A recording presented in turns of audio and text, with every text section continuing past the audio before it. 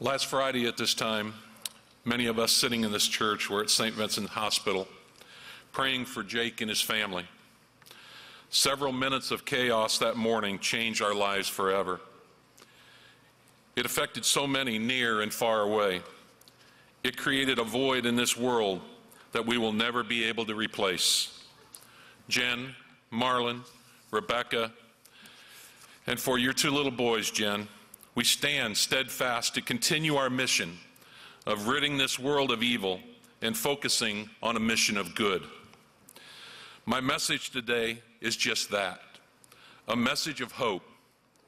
John 3:16 tells us that for God so loved the world that he gave his only begotten son that whosoever believeth in him should not perish but have everlasting life. Those are powerful words that have allowed me to get through the journey of life since I was 15 years old. I hope that they comfort you in this time of need. We know that Jake will have everlasting life. He has been accepted into the gates of heaven and is watching down on us now. It is my greatest honor to serve beside the men and women of my office. It is a great honor to be part of our honorable profession. It was my greatest honor to serve with Jake. We all know that any day we may make that ultimate sacri- sacrifice.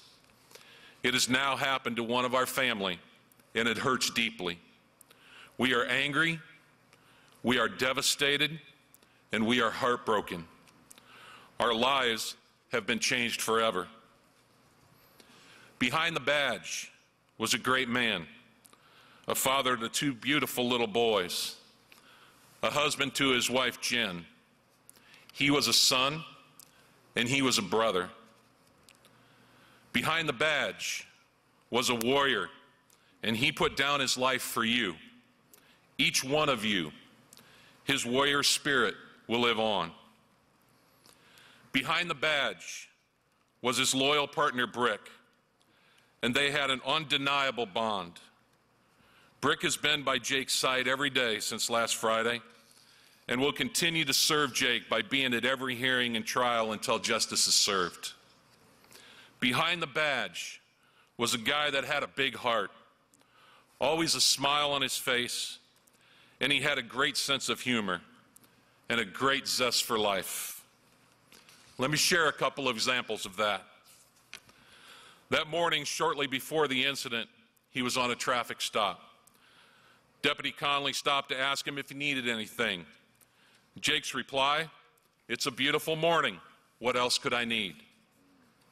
LPD Officer Taylor Nielsen, a decoy for the K9 team, and Brick's current guardian. Jake always referred to Taylor as Brick's chew toy. He hated campaign hats and always wore a winter stocking cap. He would roll it up in a certain way and look like Robin Hood. We would all give him grief about it, and he would just give us a big smile back and go, Really?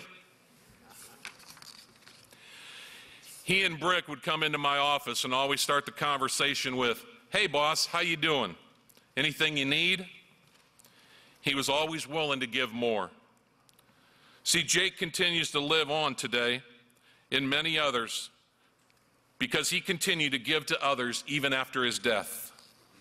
He was a servant leader by always putting others first. Jake loved his kids. He told me one day in my office that he loved his job and that the only thing he loved more was Jen and when he became a father. A true testament that his priorities were right. Please bow your heads in silence as I read a poem. They always knew they could be, they never thought they would be. God knows none ever should be killed in the line of duty. Some made their final stand, their profession's last demand. They fell with gun in hand, killed in the line of duty. A routine to many a cop. Some made one final stop. Someone's mom and someone's pop, killed in the line of duty.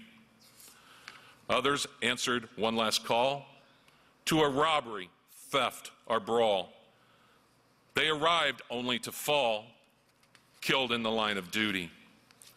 Some were dressed in brown, some in blue, some in gray and plain clothes too. Some were dressed like me and you, killed in the line of duty.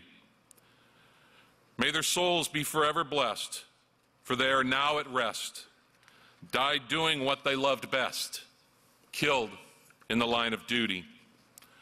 Forgotten they never could be, forgotten they never should be, thought they never would be, killed in the line of duty.